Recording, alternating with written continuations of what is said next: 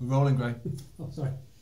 Right, this is Graham from the Stupid Network. Right, I need to make a quick video here because online the other night I was made aware of this hangout where there was a few people on there that weren't being particularly nice to Antonio.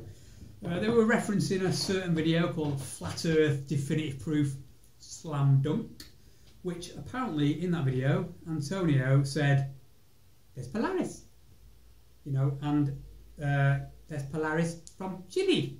Now, I know the other day we made this video and we got it slightly wrong, and I'm sorry about that, Antonio. I tried to, you know, help you out, but it went a bit, bit pear-shaped. Now, this one definitely uh, we can help you out with because the video, not the third video that you put out, the first one, which you took the first two down, probably for technical reasons, but in that first video where uh, Negator X said that you said uh, you could see Polaris from Chile, uh, we've kept that video.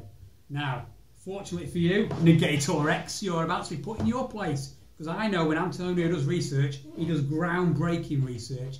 He probably looks at one website and goes with it, but you know, some people might call that groundbreaking. So here we go. I Great, great, great, great, great. Do you want to check the video before we... Well, I've got the original one, the one that was taken No, down for technical reasons. We check it first. Oh, stupid. All right, okay. Right, can you hear this? Can you hear this, Negator X? Rastro de estrellas desde el Observatorio La Silla, Chile. Oh dear, looks like that's Polaris.